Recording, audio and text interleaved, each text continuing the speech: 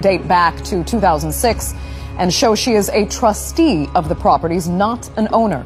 But those documents are written in a font called Calibri, which was not commercially available until 2007.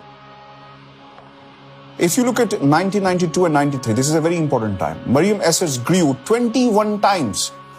And there's no justification for that. In a single year, you are not a business owner. There's no business under your name, but 21 times your assets are going up. In 1992, Maryam Nawaz turned 19 years old. After the Panama Papers revelations, Pakistan's investigative agencies probed the financial affairs of the Sharif family. The joint investigation team basically found out that uh, Mr. Nawaz Sharif uh, could not justify uh, the assets he had made uh, from known sources of income. That was one of the main charges. The matter was sent for criminal prosecution.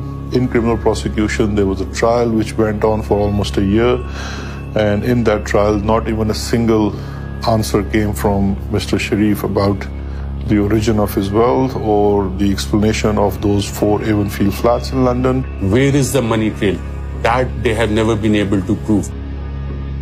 The Sharif family is believed to be one of the wealthiest in Pakistan, but the origin of their wealth remains a mystery.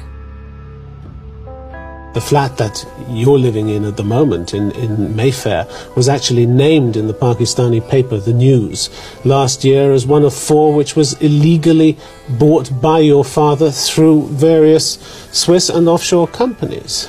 Why don't people who, is, who are actually blaming us for that go to the courts and prove it? But do you know who owns the flat that you're living in? Well, that is not the question right now. Why not? But it's the question I'm asking you. Do you know who owns the flat? Well,